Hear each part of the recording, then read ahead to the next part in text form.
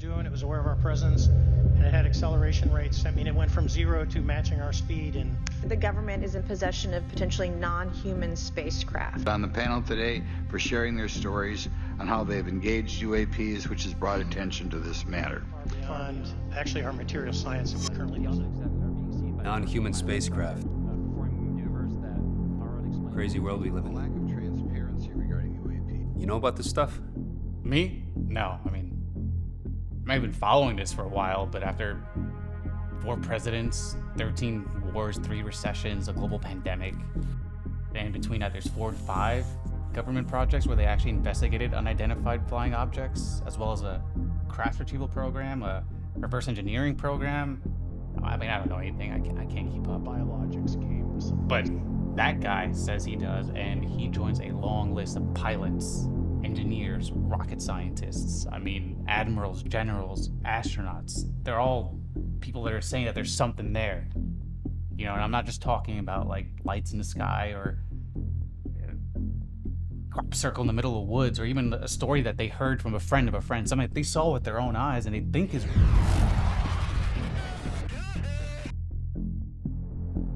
My buddy at work, he loves talking about UFOs. The objects that are being seen by commercial pilots are uh, performing maneuvers that are unexplainable due to our current understanding of our technology. Is there any indication that these UAPs could be uh, essentially uh, collecting reconnaissance? Are you aware of any of our enemies that have that capability? No. You know what he told me? He told me that the government will actually feed journalists fake stories on purpose, and then later they'll expose them, so they all look like frauds and nut jobs, and you can't trust anybody about anything. It's crazy, right? There's a whole team dedicated to it. What did he say they were called? The, the Aviation Group or something? no, the aviary. What's that? The aviary, it's the group of individuals loosely associated with military intelligence. They they act as disinformation agents effectively. They create and spread fake government documents in order to discredit real legitimate researchers who are trying to talk about this stuff, as well as contaminating the flow of information so then nobody knows what's going on. You don't have to look far to find it, right? Like, all you need is an internet connection. You can look up things like the Majestic 12 documents, Project Serpo, op- psychological operations of Paul Bennewitz. He's an American citizen, for God's sake.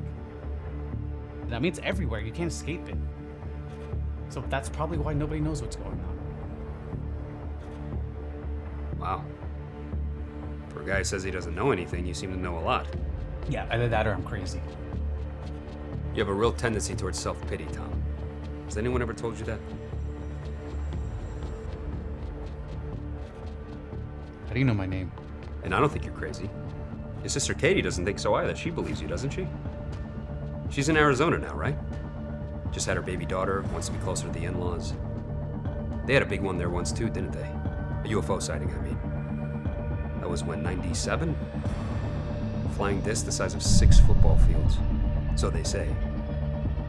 That was in Maricopa County. She's not too far from there. Scottsdale? No. No, Paradise Valley. Safe neighborhood, suburbs, and yet she still feels the need to use a digital keypad on the door. Paranoia must run in the family. In fact, I know it does.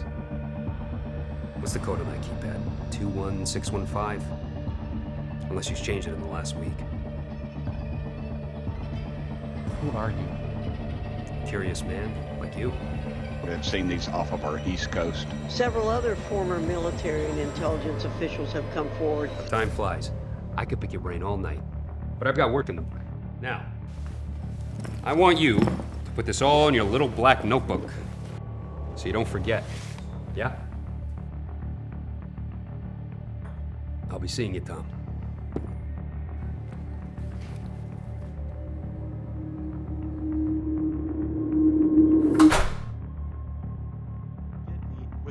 Member of the flight crew who took the image. The image was of something that I am not able to attach to any human capability, either from the United States or from any of our adversaries.